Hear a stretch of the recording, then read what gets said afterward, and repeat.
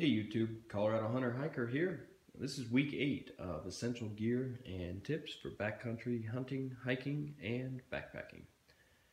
Well, we've talked about all kinds of things, but uh, if you're going to head out into the wilderness, I'd suggest you take a sh shelter with you.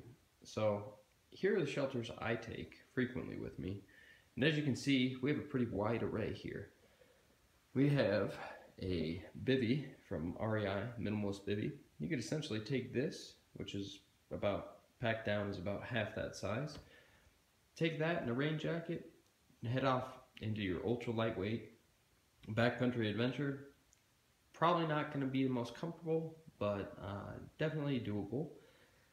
Probably not going to withstand the highest of weather and uh, bad things like that, but certainly doable. Um, I can say that I have taken just the bivy and um, a sleeping bag and sleeping pad and a rain jacket, and I've had a good time.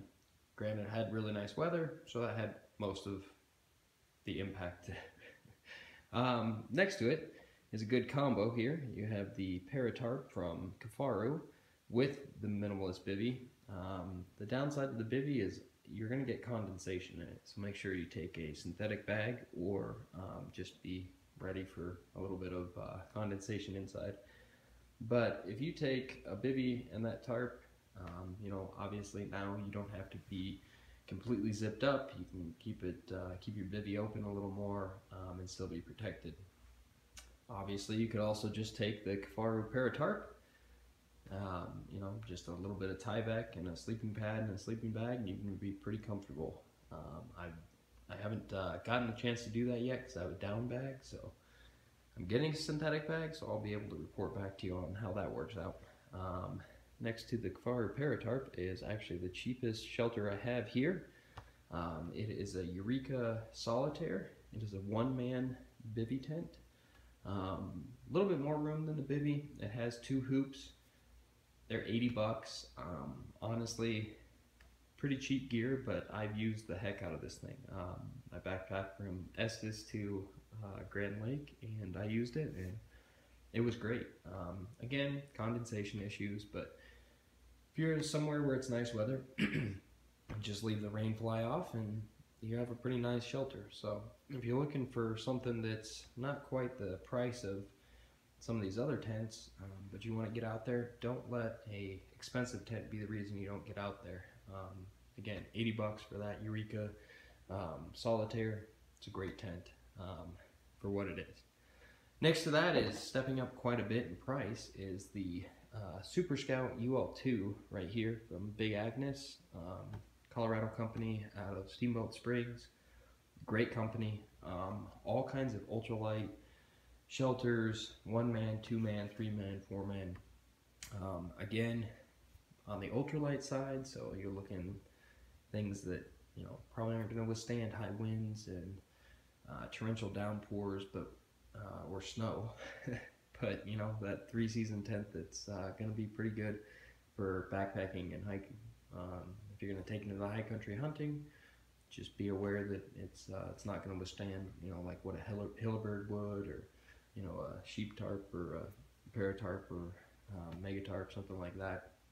Um, seek uh, seek outside things like that. So again, just take the shelter that's going to work best for you. Uh, moving on, here's an REI uh, Taj 3. Um, I've backpacked that into the, the middle of nowhere um, on a, when I had two guys that were going to stay in there. Um, yeah, it's a lot bigger, but uh, it had plenty of room and we were pretty comfortable. So a good backcountry base camp uh, tent, kind of middle of the road. Uh, not going to withstand the highest of things, but uh, got the job done.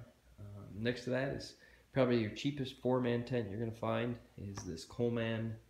They make all kinds of different sub-models, but it's a Coleman four-man tent. Um, I just looked on Amazon.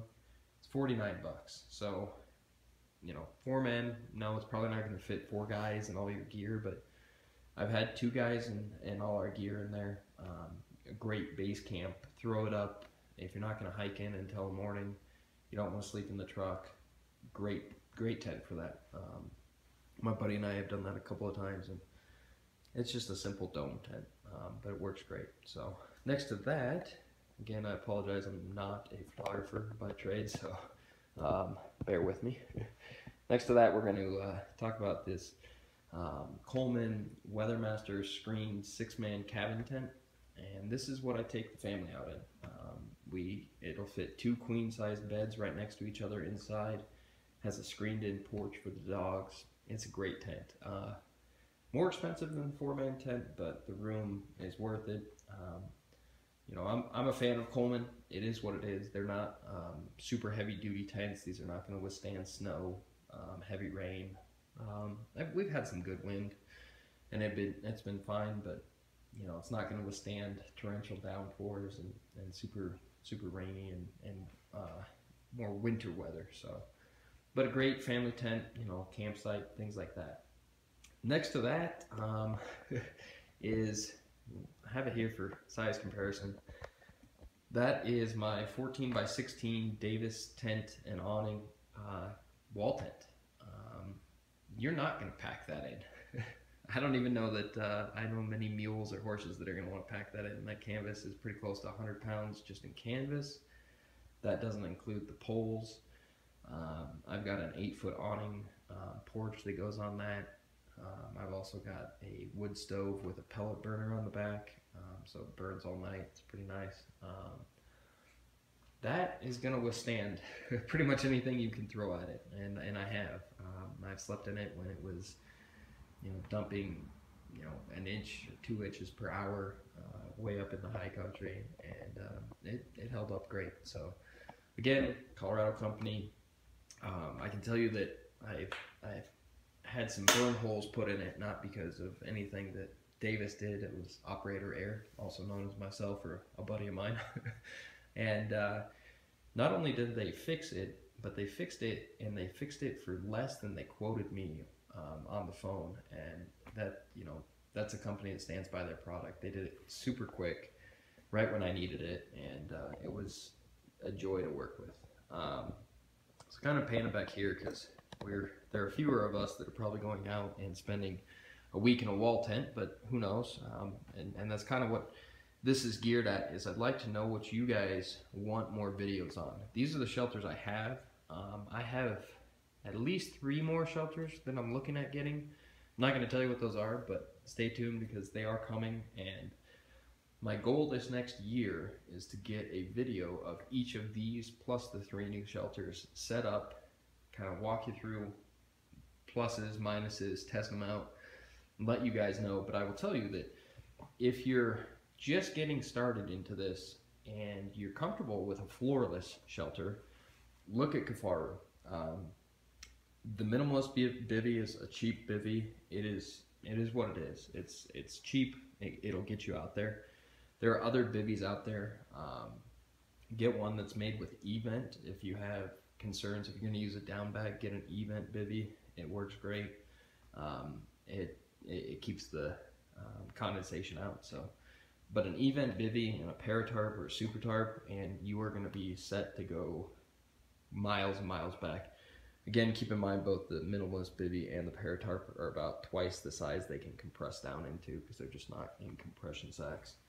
If you are not wanting a floorless shelter, um, look at Hilleberg. If you're going to go, you know, third fourth, uh, second, third, or fourth season um, rifle hunting in Colorado.